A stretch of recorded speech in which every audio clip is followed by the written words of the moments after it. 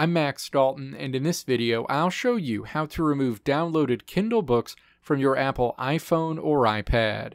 This method will not permanently remove a Kindle book from your account, and you'll still be able to re download this item for free at any time. If you are looking for how to permanently remove a Kindle book from your account so that it's no longer associated with your account, I'll link to my video in the description and pinned comment that will show you how to do that.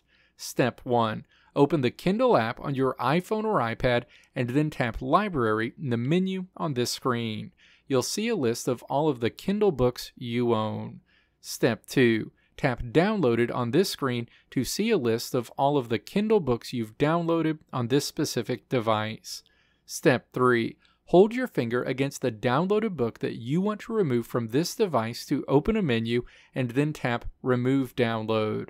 The Kindle book download will be removed from your iPhone or iPad immediately. However, this book will still be in your Kindle library, and you can always navigate back to the All section to re download it at any time. Let me know if this video helped you out in the comments below. If you liked what you saw here, click the video links on the right side of the screen to check out another video. Or click the logo on the left side of the screen to check out my tutorial website at www.maxdalton.how.